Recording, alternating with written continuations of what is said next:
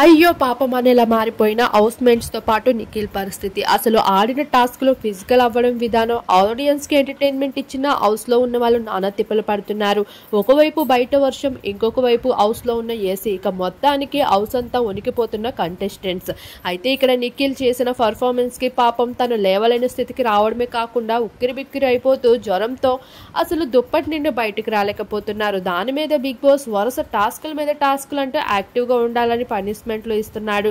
అయితే ఇక్కడ అవినాష్ గంగమ్మ మాత్రమే కాదు నిఖిల్ కూడా దారుణంగా మారింది పరిస్థితి. ఇక లేవలేని స్థితిలో ఉంటే ఇంకొక వైపు ఇక వీకెండ్ రావడంతో వీకెండ్ డ్యాన్స్ డాన్స్ పర్ఫార్మెన్స్ కావాలి అంటూ మరో ట్విస్ట్ అయితే ఇచ్చారు. దానికోసం హౌస్లో వాళ్ళంతా ప్రాక్టీస్ చేస్తూ ఉంటే ఇక్కడ నిఖిల్ అవినాష్ వీరు మాత్రం ఓపిక లేక ఒక మూలన పడి ఉన్నారు దుప్పట్లు కప్పుకుంటూ చూస్తుంటే అయ్యో పాపం అనిపిస్తుంది నిఖిల్ పరిస్థితి. అంత కష్టపడి ఆఖరికి చీఫ్ కూడా కాలేని పరిస్థితికి అయితే చేరుకొని ఇలా ఫైనల్గా జ్వరంతో బాధపడుతున్నాడు.